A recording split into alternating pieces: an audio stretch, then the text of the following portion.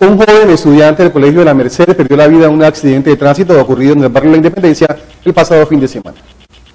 El joven Manuel Steven Altibala Valencia se movilizaba en una motocicleta cuando a la altura de la estación de servicio del barrio La Independencia se chocó contra un taxi. La fuerte colisión provocó varios traumatismos en la humanidad del joven que le causaron la muerte en forma inmediata. El accidente se produjo a las siete y media de la noche del pasado sábado. El joven muerto era estudiante del Colegio La Merced y residía en el barrio La Independencia. Manuel Steven Altavila Valencia contaba 18 años de edad, era natural de esta ciudad y popularmente era conocido entre amigos y familiares como Snoot.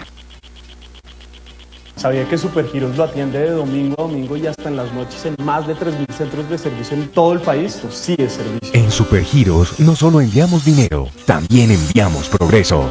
Supergiros, su plata al instante. Estamos en Apuestas Unidas del Pacífico y sea.